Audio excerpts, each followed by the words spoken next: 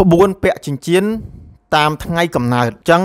ថ្ងៃកំណើតទាំង7អ្នកអ្នកខ្លះគាត់កើតថ្ងៃច័ន្ទទៅអ្នកខ្លះក៏កើតថ្ងៃអង្គារអ្នកខ្លះអ្នកខ្លះទៅក៏កើតថ្ងៃពុធអ្នកខ្លះទៅគាត់កើតថ្ងៃពហុថ្ងៃសុក្រថ្ងៃសៅរ៍ថ្ងៃអាទិត្យអញ្ចឹងទៅឧទាហរណ៍ថាគាត់កើតថ្ងៃច័ន្ទណាសម្រាប់អ្នកកើតថ្ងៃច័ន្ទហ្នឹងចាស់បុរាណលោកឲ្យពាក់ចិញ្ចៀននៅចាស់បុរាណលោកឲ្យពាក់ចិញ្ចៀននៅម្រាមដៃកណ្ដាលខាងឆ្វេងណាមានន័យដៃឆ្វេងដៃកណ្ដាលហ្នឹងហើយដៃឆ្វេងដៃកណ្ដាល ធំល្មមហ្នឹងហើយមានន័យថាមិនឲ្យធំជ្រុលពេកឬក៏មិនឲ្យតូចនឹងជៀននឹងស្គមពេកណាមានន័យថាធំល្មមសមសួនជាមួយនឹងដៃសម្រាប់អ្នកកើតថ្ងៃអង្គារគឺអាចពាក់នៅដៃនាងដៃកដាលនិងដៃច្អល់ណាបាន3ម្រាមហ្នឹងហើយតែរៀងធំក្រាស់បន្តិចអ្នកកើតថ្ងៃអង្គារហ្នឹងមានន័យថាពាក់ចិញ្ចៀននៅដៃនាងដៃកណ្ដាលដៃចង្អុលជាដៃខាងឆ្វេងហ្នឹងហើយមានន័យដៃឆ្វេង ហ្នឹងហើយហើយរៀងធំរៀងក្រាស់បន្តិចមានន័យថាយើងតាន់មើលទៅយើង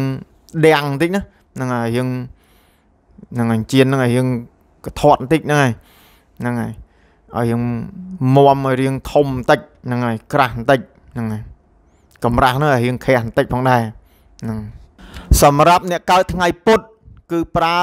ចិញ្ចៀនបាននៅដៃនាងខាងឆ្វេងហើយហាម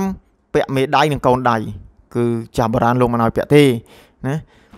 អញ្ចឹងឲ្យពាក់នៅមករៀមនាងខាងឆ្វេងណាសម្រាប់អ្នកកើតថ្ងៃពុទ្ធហើយយើងធំល្មមហ្នឹងហើយមិនមែនពាក់ទូចស្ដួចឬក៏ហ្នឹងហើយ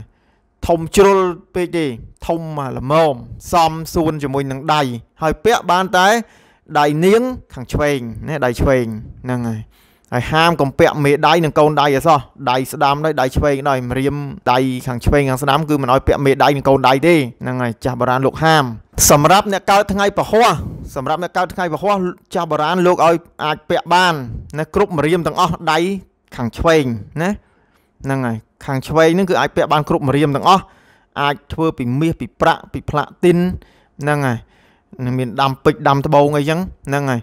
ហ្នឹងហើយតែទំហំ ក្រាស់បន្តិចមានន័យថាទំហំហ្នឹងរៀងក្រាស់បន្តិចធំបន្តិចហ្នឹងហើយសម្រាប់ថ្ងៃសុកវិញ អ្នកដែលកើតថ្ងៃសុកគឺចាស់បុរាណលោកហាមមិនឲ្យពាក់គ្រប់ម្រាមនៅខាងស្ដាំខាងឆ្វេងដៃហ្នឹងហើយតែអាចពាក់នៅខាងស្ដាំដៃបានហ្នឹងហើយហ្នឹងហើយហើយពាក់នៅខាងស្ដាំដៃនេះហ្នឹងហើយម្រាមណាក៏បានដែរខាងស្ដាំដៃហើយ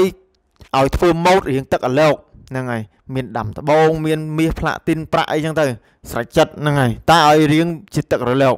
ហើយទំហំវិញធំល្មមសំសួនជាមួយដៃសម្រាប់អ្នកកើតថ្ងៃសៅរ៍គឺចាស់បុរាណលោកឲ្យពាក់នៅដៃខាងឆ្វេងនៅដៃខាងឆ្វេងនឹងប្រើនាងដៃនិងចង្អុលដៃហ្នឹងហើយដែលធ្វើពីមាសប្រាក់ឬក៏ត្បូងនិលហ្នឹងហើយនឹងសម្រាប់អ្នកកើតថ្ងៃសៅរ៍ហ្នឹងហើយអ្នកកើតថ្ងៃសៅរ៍គឺអាចរចនាពីពេជ្រ ពីត្បូងនិលហ្នឹងហើយហើយពាក់នៅដៃ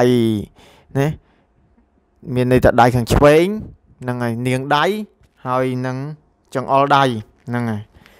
អាចធ្វើពីមាសពីពេជ្រប្រាក់ហ្នឹងហើយហ្នឹងហើយត្បូងនិលសម្រាប់អ្នកកើតថ្ងៃអាទិត្យអ្នកកើតថ្ងៃអាទិត្យគឺប្រើដៃឆ្វេងដែរហ្នឹងហើយគឺអាចពាក់បាននៅ គឺអាចពាក់បាននៅម្រាមនាងនិង ហ្នឹងហើយដៃកដាលខាងឆ្វេងណាហ្នឹងហើយអាចធ្វើពីមាសពេជ្រប្រាក់អីហ្នឹងទំហំធំល្មមសំសួនជាមួយនឹងដៃនឹងឯងអញ្ចឹងសម្រាប់12ឆ្នាំដែលកើតនៅក្នុងថ្ងៃនីមួយៗណាអ្នកខ្លះគាត់កើតថ្ងៃ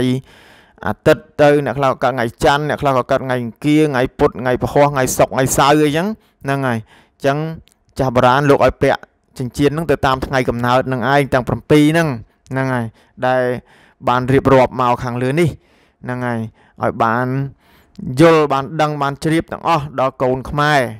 រោងចក្រលោកគ្រូអសតបារានស៊ូសេងហួរបោះដុំទាំងអាហារពណ៌និងអសតបារានគឺតម្លៃផ្ទាល់ចេញពីរោងចក្រគុណភាពក៏ចេញពីរោងចក្រផ្ទាល់ដែលមានលិខិតអនុញ្ញាតត្រឹមត្រូវអសតបុរាណនិងអាហារកំប៉ុនលោកគ្រូស៊ូសេងហួរ